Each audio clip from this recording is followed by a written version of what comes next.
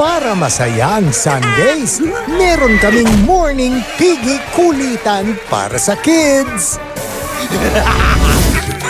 Piggy Tales premieres June 15, 8 a.m. on GMA.